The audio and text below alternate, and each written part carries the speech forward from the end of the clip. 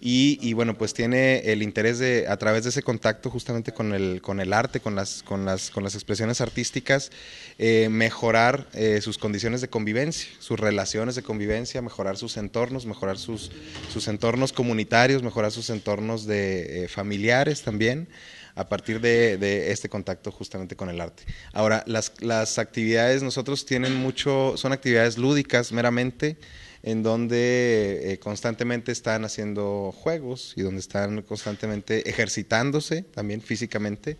Y bueno, pues esas son, esas son básicamente algunos de los beneficios. Tenemos un programa que se llama Escenificarte, que es un programa de teatro y música. Tenemos un programa de eh, danza que se llama Urbe Danza. Eh, un programa de, de, núcleos juveniles de música en donde aprenden a tocar instrumentos también. Y un programa de canto que se llama A que la canción. Eh, los objetivos del, del, proyecto no son propiamente eh, generar artistas en la ciudad, sino son eh, básicamente, como te decía, que tengan un, encuentro cercano con el arte y que a partir de ello puedan tener pues mejores expectativas de vida en la medida de lo posible y en la medida de, de ese encuentro con, con el arte.